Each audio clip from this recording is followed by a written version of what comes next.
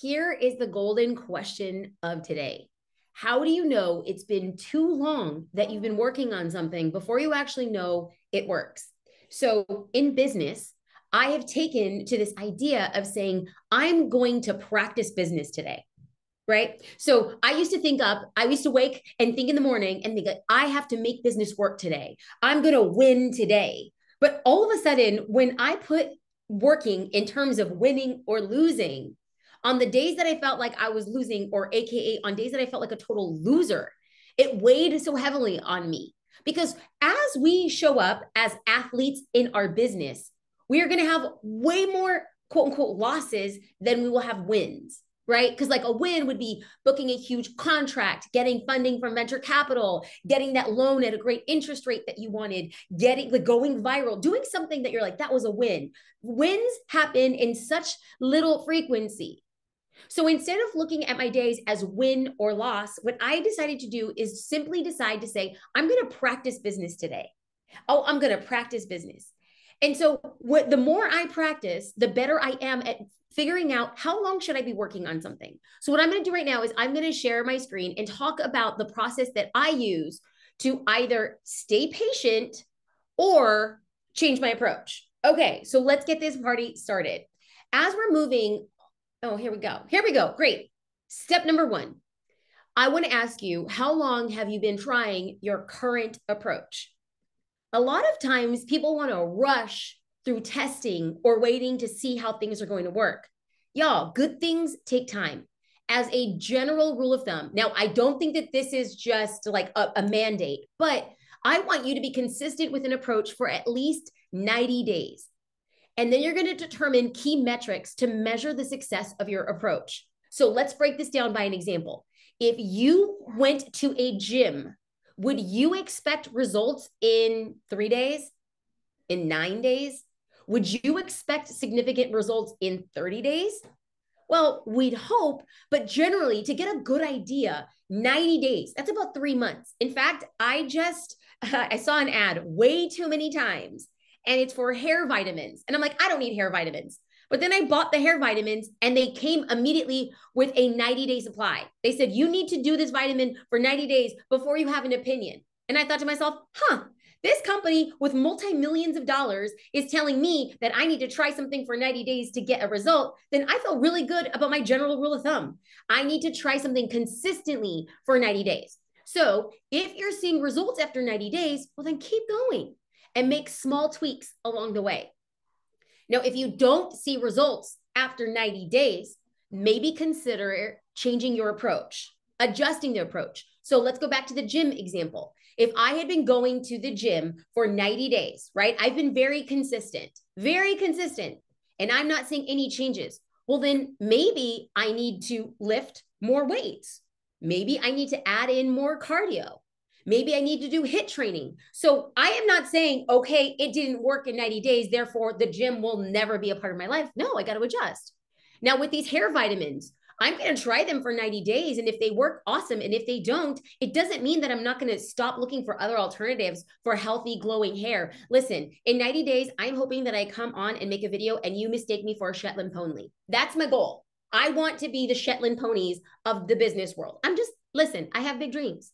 Now, what we want to do here, most most importantly, is that when I talk about going to the gym, you just can't have a gym membership for 90 days and be like, see, it didn't work. I can't have a 90 day supply of vitamins and not take them. You have to do things consistently.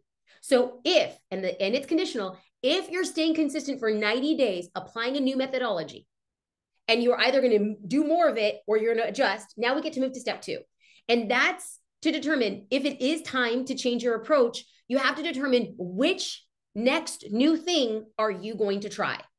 So, oftentimes people are like, I can do everything. I can try a million things. I just don't even know where to begin. Well, get it all out of your head. Brain dump everything you can on a piece of paper with a pen. Just let it go. Just write everything. Get it out of your head and put it on a piece of paper.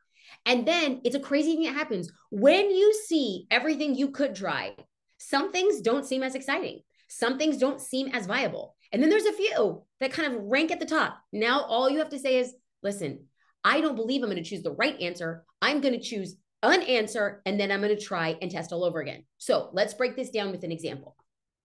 Let's say that you post and engage very consistently on Instagram for 90 days. I am talking about most days, six out of seven days, you are posting on Instagram and you don't see any results. You haven't booked more clients, you're not getting more leads. Then you say, okay, I gave it a fair shot. Maybe my ideal client is not on Instagram.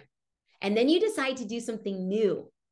Maybe you say, what new things could I try? Where does my ideal client, what platform are they on? And so then you brain dump. Remember, paper and pen, Facebook, ads, creating a course. Maybe you can create a membership. Maybe you could start a podcast. Maybe you could start posting on LinkedIn. All we're basically doing is how do we fill our lead funnel with prospective people to come in to our funnel and hopefully buy from our business.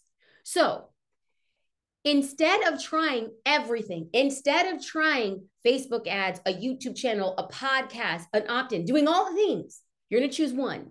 Why? Because diluted focus gets diluted results. Rory Vaden said it best. If you try to do 10 things, your effort will be one tenth of what you should be applying. But when you do one thing, 100% of your effort, you're going to get a very clear outcome. Then that leads us to step number three, and that is to create a test to determine if your new approach works. If your new approach works. So, if I went to the gym and I was working out for 90 days and I was very consistent and I didn't see results, well, then I'm going to say, you want to know what I'm going to do? I'm going to do less cardio and I'm going to do heavier weights in smaller sets. That's my new test. That is my new test for the another 90 days. If I decide that my hair vitamins aren't working, I'm going to go and find a different hair vitamin or a scalp massage or speak positively over my follicles. Whatever it's going to be, I'm going to try something new and test it again for 90 days. So, let's just say that you decide after your attempts on posting on Instagram and it just kind of falling flat, you decide to start posting on LinkedIn in addition to Instagram. Remember, we're testing. You're going to post 90 days of posting four times a week on LinkedIn and you're going to engage with every comment and you're you're going to respond to those DMs. And then you have to say, well, how am I going to measure if LinkedIn was actually working for me? You say, if I book one client in 90 days from LinkedIn, then I know my ideal client is on this platform. Do we know it's the right answer? No. Will we focus on one answer and test it for 90 days? Yes. So I want you to use this framework every time you ask yourself, do I need to make changes in my business? If you're at a point where you feel like you need to make changes in your business, then you're going to say, I'm going to brain dump. I'm going to test for 90 days. I'm going to be consistent and I'm going to have a metric. How do I know it's working? Now I'm going to come out and I'm going to predict the future because you're going to be testing and then you're going to get to a point where you're like, why does it feel like it's taking so long? I need to know, I need you to know it will take longer than you think, but do not give up because what you're learning on a consistent basis is changing the way that you're showing up and the timing is always perfect. As somebody who has been in the game over a decade, the timing has always been perfect. Now, speaking of making changes and speaking of testing things, how then do you know what next to test? I am inviting you to test me. I have a very specific methodology to double your revenue in 60 days with a proven launch plan. This is a free class that I am hosting. You can go to jasminestar.com forward slash launch, and you could find the link in the comments of this class. So, why do I want you here? Well, when we talk about testing things, a lot of us, we brain dump and then we're like, okay, I don't know what to do next. I'm inviting you to my class. We're going to be talking about the four main pillars that you are going to need to double your revenue in 60 days. And here's the best part I did it for my business. I taught other people how to double the revenue in 60 days for their business. And it has just been absolutely and positively amazing. Speaking of which, if you have any questions, feel free to drop them in the chat. I'm going to tell you that when we talk about making tests and doing tests, it makes us feel a little uncomfortable. It can also make us feel very awkward. But I'm here to tell you that I actively invite awkwardness into my daily life. Why? Because it keeps me accustomed to change. If I'm not feeling a little bit awkward, that means that I'm not trying new things. And if I'm not trying new things, I actually don't know what's going to be the best in my life or in my business.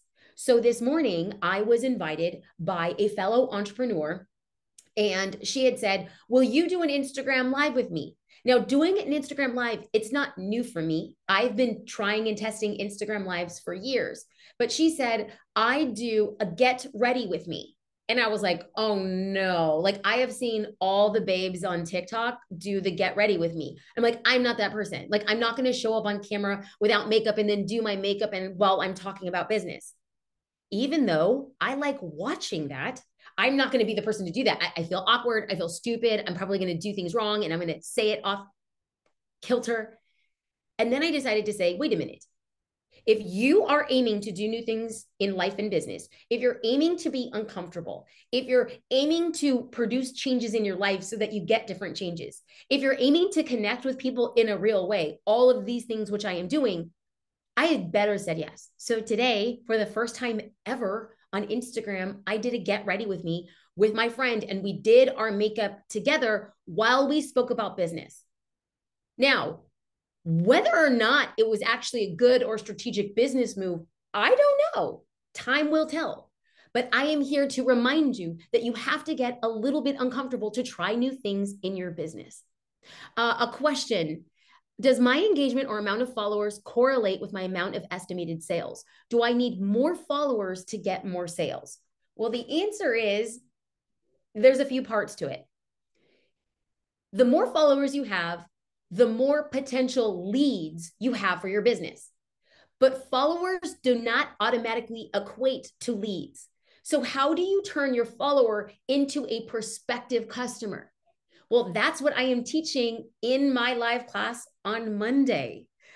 We want to make sure that we're giving people a very specific way to engage for you to build trust, for you to make an offer, for you to focus on the conversion and have somebody make a decision in a specific amount of time.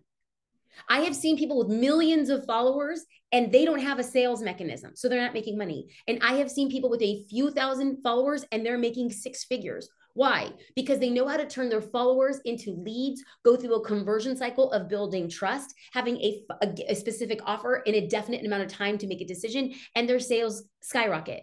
So just because you have millions of followers does not mean that you have a path, a clear path to a million dollars. Not at all.